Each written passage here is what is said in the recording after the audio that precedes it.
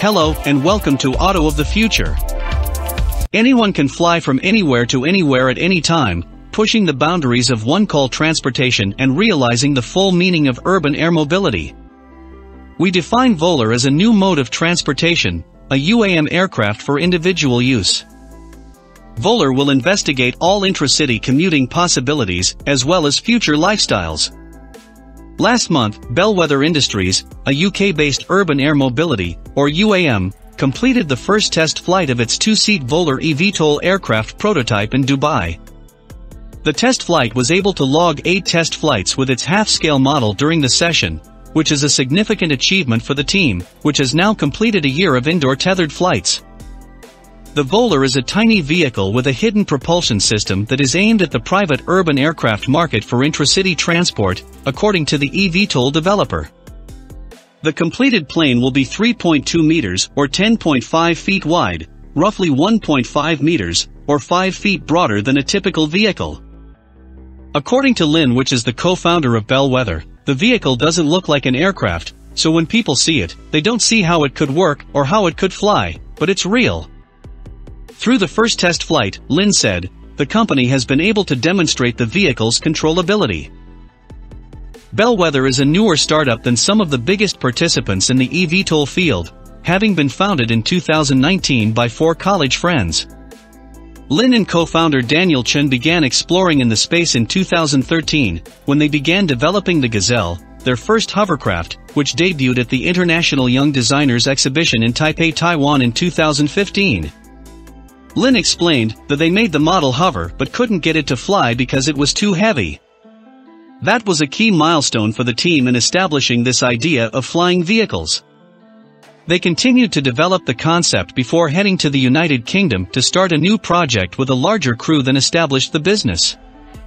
Until far, the startup has kept its project a secret, but it recently chose to make public appearances at the DroneX trade show and Air Taxi World Congress this fall, as well as the Dubai Airshow in November, where its aircraft was first exhibited to the public.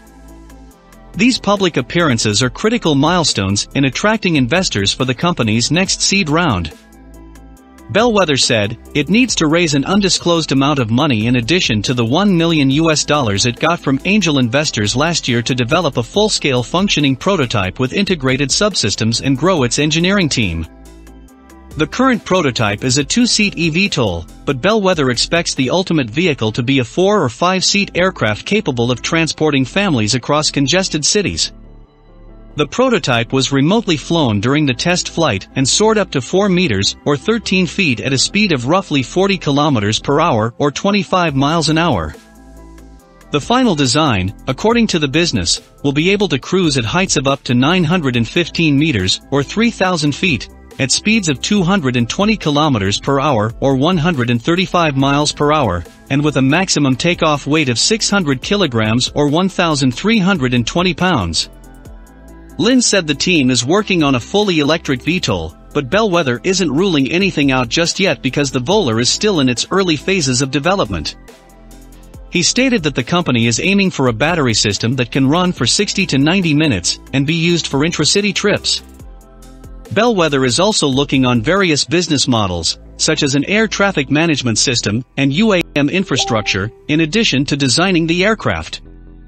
Lin stated that the firm plans to bring the Volar to market in 2028, and that the company is working closely with consultants to prepare for its type certification application with the European Union Aviation Safety Agency and the United Kingdom. Though Lin stated that the eVTOL's initial pricing will be like owning a private jet in 2030, he hopes to reduce that price over the next decade to make it equivalent to buying a vehicle. Bellwether believes, like other technology industries, as the UAM industry evolves and more companies enter the space, technology and mass production will mature, lowering the price point over time. The goal of the company is to make the vehicle for everyone in the future like owning a car. Please do not forget to hit like, subscribe and hit the notification bell for more content about automobile of the future. Thank you for watching.